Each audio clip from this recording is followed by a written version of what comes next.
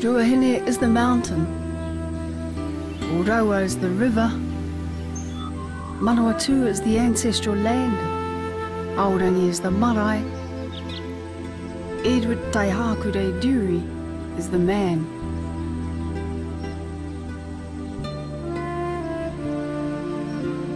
The youngest of three sons born to a Maori father and Te Pākehā mother, Edward Taihakurei Durie was born 100 years after the signing of the Treaty of Waitangi.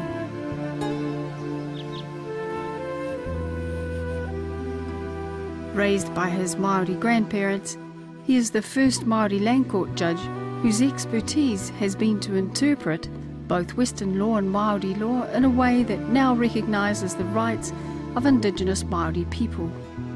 He descends from the Rangitane and Ngāti Kauwhata people of the Manawatu. We have a right to cultural survival, and I think it is not always appreciated that there is only one place where Maori culture can survive, and that's here in New Zealand.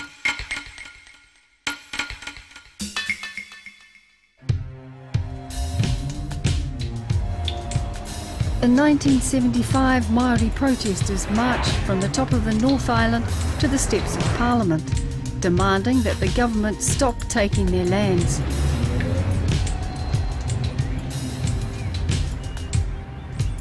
When it was initially proposed that there should be some form of recognition of the Treaty of Waitangi, most people thought that that was simply preposterous. You couldn't have that.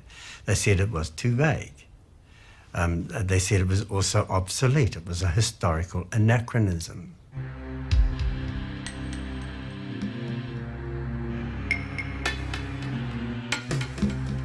Muri mai tēnā uh, nāna te kāwaratanga i, i whakaingoa. Ko tai hākurei Yuri, hei tiati kai matua o te koti māni. One had to reform that court. One had to reform its process. And one had to promote the reform of Maori land law at the same time. One could just see a huge task. Eddie Durie's work was so important in changing that court from being a court just administering individualised Māori interests for the benefit of individual Māori owners and often still alienating them out of the hands of Māori to a court which found ways and means of giving expression to whānau trusts, to pūtea trusts, to ahu whenua trusts in ways that uh, were not possible um, before Eddie Durie became Chief Judge of the, of the Māori Land Court. He has been a judge longer than almost anyone I can remember. He was made a Maori Land Court judge at the age of 34. He then became the chief Maori Land Court judge. Then he became the chair of the Waitangi Tribunal. Then he became a High Court judge. That is a very distinguished legal career. I'm no longer a judge. I can actually say for the first time things that I've never said before because I've never been able to say them. Despite the constraints of his role, this man, small in stature, became the first Māori Land Court judge, the youngest amongst his peers at the time. Through his work, he speaks volumes to the people of Aotearoa and indeed the world. The matriarch of the Durie whānau, Reverend Kahu Durie, watched him grow up. He is the youngest of the family. The boys, they were all very affectionate children um, and very respectful, especially to their queen koro. That, that was my parents. My parents were always staunch Anglicans. And the boys, they helped a lot with the chores, like, like in the milking shed and around the garden. My tuition began, I think, in three, three places. They were my own marae, Aorangi marae, in the Manawatu. Uh, the Borthwick's freezing works, and I'll come back to that as to why I mention it. And then Te College.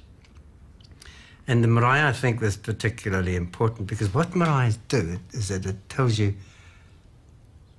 who you are as a person who your family is, where you have been, where your family has been in the past, where they are today, and gives you some indication of where you might properly be heading in the future. It locates you in time and space.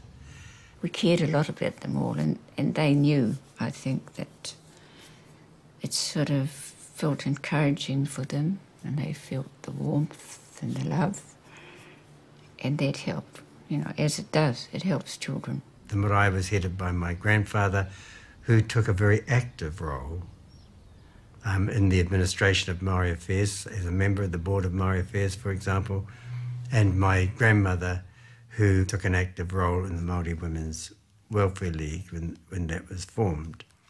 Eddie and his brothers, before tea, they would go to the meeting house and do their homework. And my sisters told me that they would often sneak up to the windows and have a look because they, they didn't believe that these these kids would be doing their homework properly. They'd probably be playing around in there. And, you know, they, they said, you know, those boys were all doing their homework. They were so, you know, so surprised. Oh, so was I. Then went to Borthwick's, which is the freezing works just down the road from um, um. Um, starting there uh, at age 13 and um, going there through to age 18 during the summer vacation period. Now, of course, 13 is underage. I think the Factory Act said you had to be 16 at that time. But that didn't seem to matter very much in those days. I worked on the chain, and what was important there for me was it was still the family experience because just about everyone on the four chains that existed there were family. My father worked there, my two brothers worked there, and it was almost an accepted rite of passage for young people. Except they're a bit tough, I think, with hindsight and getting you in there at the tender age of 13. And I remember saying to my mother, I don't think Eddie should be in, in there. He's too young, isn't he?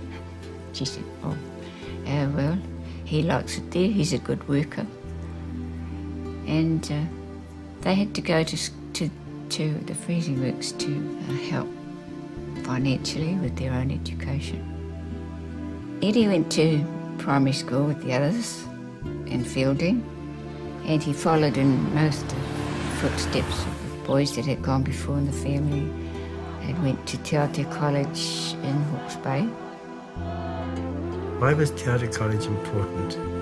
I think it was because when I got there, it, it, dawned on me for the first time that, that that while we had a conception of being a tightly knit family group under a, or hapu group under a, with a particular genealogy, that we linked to Maoris from one end of the island to the other. Maoris knew how to manipulate those um, whakapapa to establish connections, which served to remind me that we really are